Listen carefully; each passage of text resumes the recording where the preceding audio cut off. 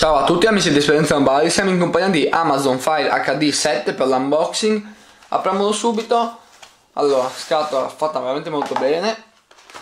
Eccolo qua, è il primo eh, diciamo Kindle Fire che provo Quindi proverò per qualche giorno per capire un po' bene qual è la filosofia di questi prodotti. Eccolo qua, mettiamo un attimo da parte. Poi abbiamo manualistica. Qua dentro cosa troviamo di bello? Troviamo l'alimentatore con ingresso USB, in questo caso presa non italiana direi. E, e, basta quindi dovete già avere un cavetto USB micro USB almeno che vediamo se per caso è ok scusatemi è qua sotto.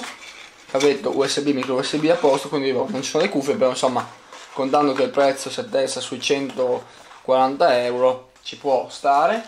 Mettiamo via il tutto e a vedere il tablet ok?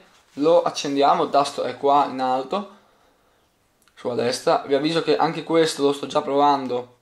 Boh, da un giorno circa niente di che infatti proverò ancora una settimana circa però posso dirvi già che è abbastanza intrigante. È un tablet diverso dal solito comunque basato su Android in linea di massima. Allora vediamo un po' come è fatto. Frontalmente abbiamo videocamera anteriore lato sinistro bilanciere del volume parte bassa pulito lato sinistro e destro pulito. In alto abbiamo ingresso micro USB accensione, spegnimento, blocco, sblocco, non metto a fuoco, ingresso per le cuffie e microfono. Qua dietro abbiamo una fotocamerina che dovrebbe essere da 5 megapixel, adesso non ho trovato caratteristiche approfondite ma ve lo dirò nella recensione. E allora, vediamo un po' dimensioni, abbiamo 19 cm, 12.8 cm per uno spessore di circa 1 cm 1, quindi vabbè abbastanza spesso, 340 grammi Parliamo di display 7 pollici HD eh, 1280x800 pixel, 216 pixel per pollice IPS, abbastanza buono l'angolo di visione.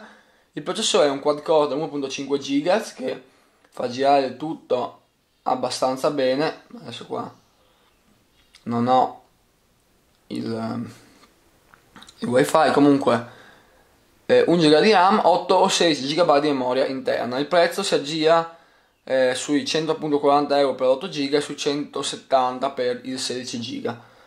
Io ho l'8 in prova quindi niente diciamo che adesso lo proverò era giusto per farvelo vedere. Se avete domande particolari fatemele pure nei, nei commenti come sempre. Ci vediamo nei prossimi video. Un saluto da Lorenzo per Esperienza Mobile. Ciao